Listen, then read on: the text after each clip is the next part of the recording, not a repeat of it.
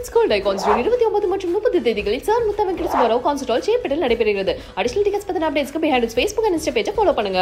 ஆரம்பிக்கலாங்களா?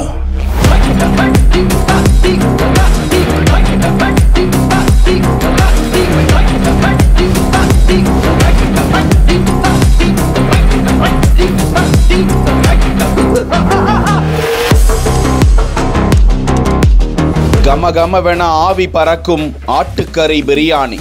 மிளக தட்டி முட்டி குழம்புல கொதிக்குது பார். அந்த காலழகு.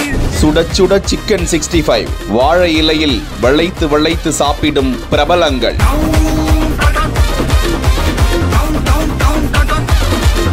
மதுரையை கலக்கிய அமீர் மகளின் திருமணம். ஒரே இடத்தில் குவிந்த ஆயிரம் நட்சத்திரங்கள்.